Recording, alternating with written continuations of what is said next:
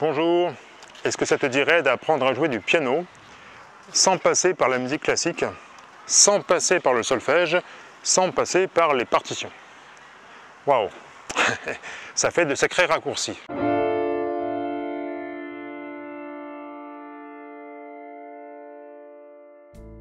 J'ai rien contre la musique classique. J'ai composé euh, plus de 6000 morceaux dans ma vie, dans tous les styles. Donc tu vois, j'ai absolument rien contre le classique, le baroque. Ou... Mais simplement, euh, bah, j'avais eu envie pendant un moment de, jouer du piano un peu plus moderne. Et euh, au début, moi, j'ai joué beaucoup sur partition. Et puis finalement, je me suis rendu compte que dans le jazz,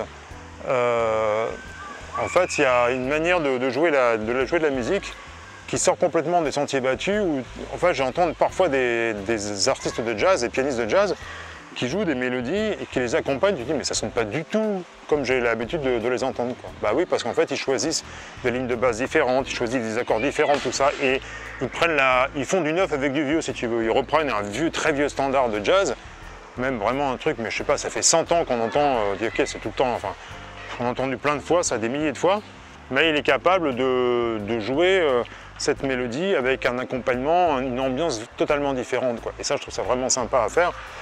Et c'est ce qui m'a donné l'idée de, creuser, euh, de me creuser un peu la tête pour essayer de, trouver une méthode qui permettrait justement de jouer des morceaux avec, euh, on essaie de s'éloigner des cris.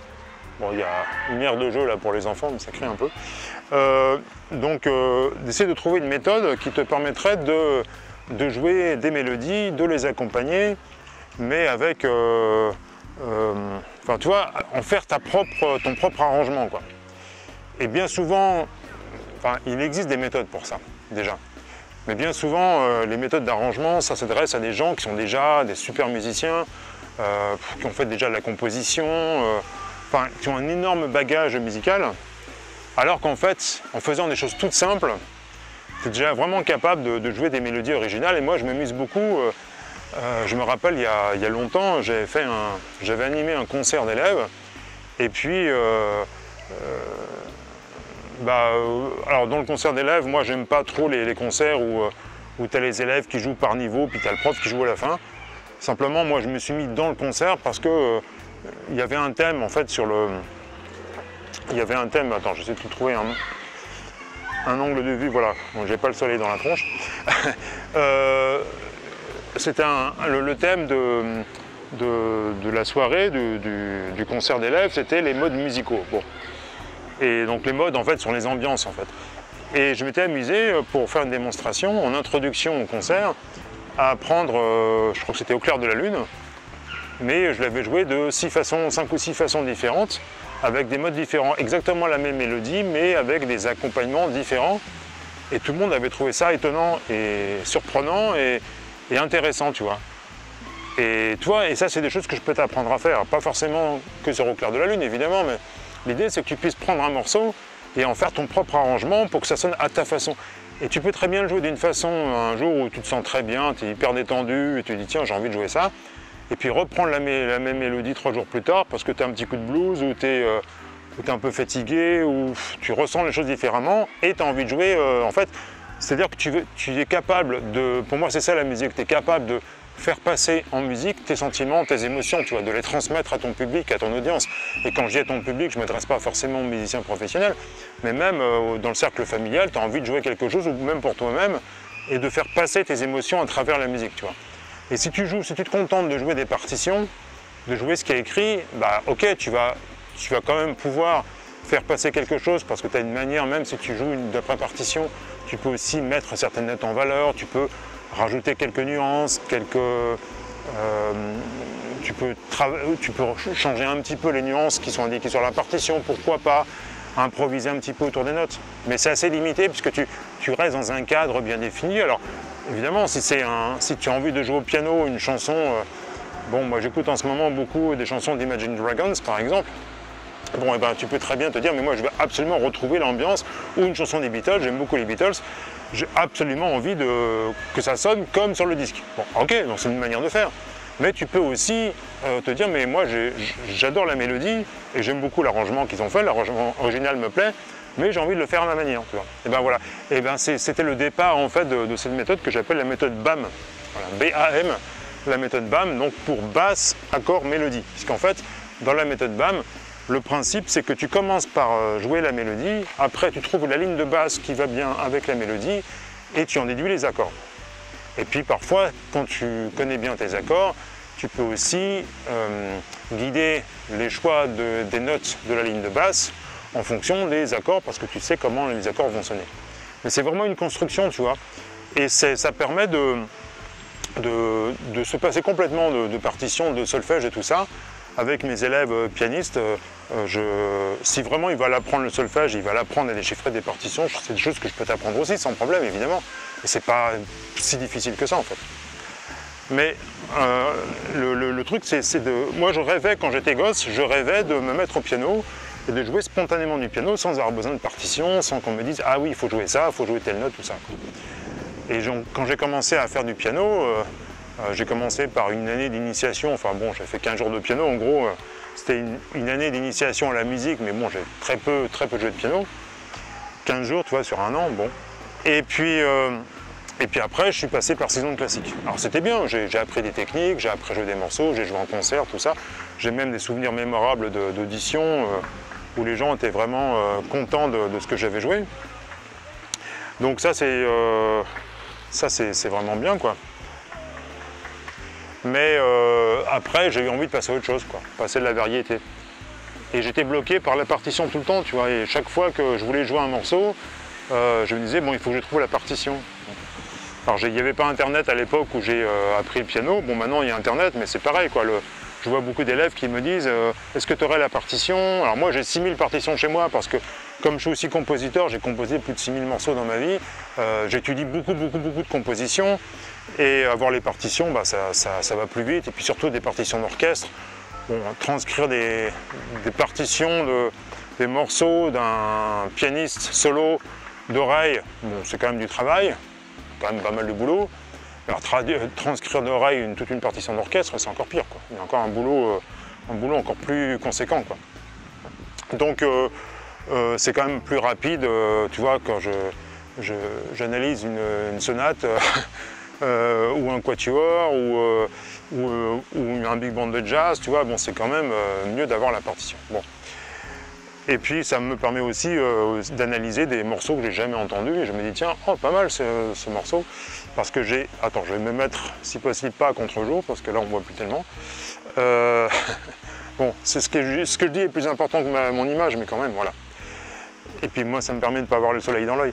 Donc euh, voilà, donc tu vois l'idée c'est vraiment de, pouvoir, de pouvoir jouer sans avoir besoin du support partition et de, et ce qui fait que ce que tu vas jouer au piano, bah, ça va être ta propre interprétation en fonction de ce que tu as envie de transmettre et de ce que tu ressens. C'est ça la méthode BAM. Et donc euh, bah, tu vas trouver euh, régulièrement des, cours d'initiation. On va aborder, il y a plusieurs, plusieurs pôles en fait dans la méthode BAM. Il faut apprendre à bien jouer des mélodies, il faut apprendre à choisir les lignes de basse en fonction de la mélodie, il faut apprendre ses accords, il faut apprendre leur sonorité. Alors c'est beaucoup de travail forcément, mais c'est passionnant quoi. Et, ce qui est génial avec cette méthode, c'est que ça sonne tout de suite. C'est-à-dire que tu n'es pas obligé de faire comme dans, le classique, avant de jouer des morceaux qui sont vraiment sympas et que bon, les gens commencent à te dire Ah ouais, là, franchement, là, ça sonne bien, tu vois, il faut à peu près 3 ans de piano. Là, l'avantage, c'est que dès les, premières, euh, dès les premières heures, même dès les premières minutes, en fait, tu es déjà capable de, faire des choses vraiment jolies, tu vois. Et donc, j'ai publié des contenus euh, régulièrement pour t'apprendre euh, bah, tout ce qu'il faut savoir faire pour, pour jouer des mélodies au piano de manière euh, enfin, complètement personnalisée, tu vois. Euh, donc euh, aussi bien bien jouer les mélodies, choisir les lignes de basse, trouver les accords, faire tes propres arrangements, tu vois, sans avoir besoin d'énormément de, connaissances. Enfin, toutes les connaissances, je vais te les, apprendre. Et ce ne sont pas des connaissances théoriques, c'est vraiment, on fait beaucoup de pratiques, on passe beaucoup de temps au piano et on s'aide de son oreille. si au début tu me dis, bah oui, mais moi j'ai pas du tout l'oreille musicale, eh ben, tu vas apprendre à, enfin tu vas l'acquérir grâce au cours que je vais te donner. Ok? Voilà. Donc, euh, bah écoute, si tu me suis sur euh, YouTube, euh, tu peux déjà t'abonner à la chaîne. Tu cliques, bah, tu peux déjà cliquer sur le pouce en l'air, ça fait toujours plaisir. Et puis ça, fait que plus il y a de pouces en l'air sur une vidéo, bah, plus la vidéo remonte dans le moteur de recherche de Google et donc ça permet d'être un, peu plus, un, peu plus vu.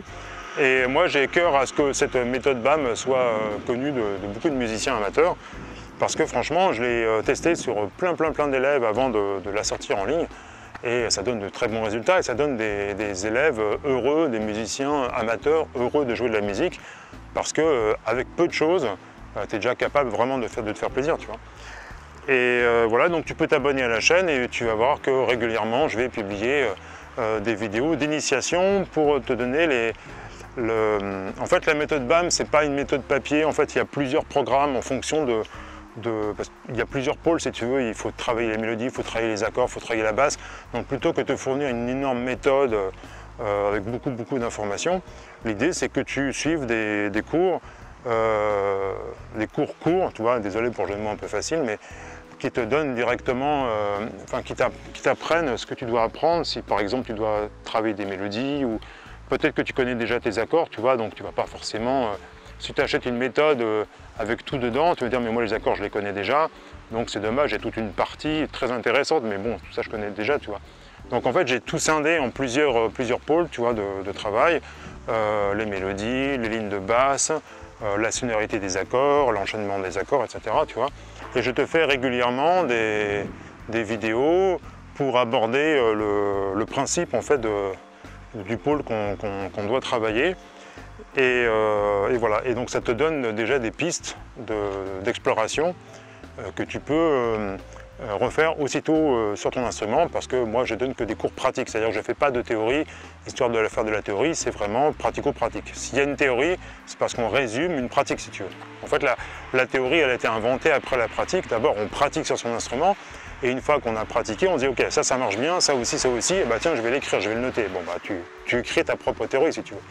Donc je vais t'apprendre la théorie, mais ce qui découle de la pratique. Et l'idée, c'est pas simplement, je veux surtout pas que tu prennes ça comme argent comptant en disant bon bah c'est Bertrand qui l'a dit, c'est le prof qui l'a dit, donc je, fais ça sans, sans, rien comprendre du tout. Non, l'idée c'est que tu comprennes ce que tu fais et surtout que tu aies tout vérifié au piano. C'est pas que tu dois pas me croire sur parole évidemment, mais c'est que l'idée c'est que tu, tu puisses entendre comment ça sonne au piano, tu vois. Et c'est vraiment ça qui est important, c'est que ça te fasse une culture musicale mais culture musicale pas de manière théorique, mais vraiment de manière pratique. Comme ça, quand tu vas jouer des morceaux, tu vas choisir les lignes de basse, tu vas choisir les accords en fonction de ton ressenti. Et puis ton ressenti, il faut bien que tu le traduises en musique. Donc si tu n'as pas de connaissances du tout et que tu fais des choses au hasard jusqu'à ce que ça sonne bien, bah, tu risques d'y passer beaucoup de temps, tu vois. Donc c'est tout ça que je vais t'apprendre à faire. En tout cas, abonne-toi à cette chaîne. Tu verras, il y a des contenus réguliers. En tout cas, je suis très heureux que tu t'intéresses au piano et surtout euh, à la méthode BAM euh, qui te, vraiment qui te permet de, te faire plaisir rapidement au piano, même si tu débutes sans passer par le solfège, sans passer par tous ces exercices rébarbatifs. Alors bien sûr, en fonction des morceaux que tu vas jouer, bah, de temps en temps tu vas avoir besoin de techniques euh, pianistiques, mais ça je peux te l'apprendre aussi. Mais ce n'est pas le, cœur de la méthode parce que encore une fois l'idée c'est vraiment de, t'initier au, piano euh, moderne, quoi. Et, tu peux même vraiment jouer, même accompagner des chanteurs avec cette méthode-là. Enfin, il y a vraiment, euh, c'est génial, quoi, parce que avec peu de choses, avec peu d'éléments et une bonne connaissance, tu vois, le mieux c'est d'avoir peu d'éléments et euh, de bien les comprendre, de bien les connaître, de bien les entendre, de te dire ah ouais tiens, oh attends à un moment donné quand tu chantes ça, attends, je attends, j'ai pensé à tel arrangement, euh, et, en fait, tu, trouves l'arrangement en fonction de sonorités que tu as dans la tête, tu vois. Et tu fais le lien avec tes sentiments, tes émotions, ou les émotions que le chanteur veut exprimer. Par exemple, euh, il veut exprimer un moment très triste, et ben tu vas, tu faire exprès de mettre des accords très, enfin, qui, donnent une ambiance triste, par exemple. Et à un moment donné, il y a une lueur d'espoir. Hop, ça y est, tu, vas plaquer un accord ou jouer des accords qui, qui, sous-tendent, si tu veux, ce qu'il raconte dans sa chanson. Vois. Donc c'est tout ça que la méthode BAM te permet de faire, à la fois jouer euh, en solo des morceaux connus, à la fois jouer des compositions, à la fois improviser et à la fois accompagner d'autres musiciens ou des chanteurs par exemple. Voilà, voilà. Donc en tout cas, bah, écoute, euh, je te dis euh, à très bientôt. Abonne-toi si ce n'est déjà fait. Et puis en tout cas, je te souhaite bien évidemment bonne musique.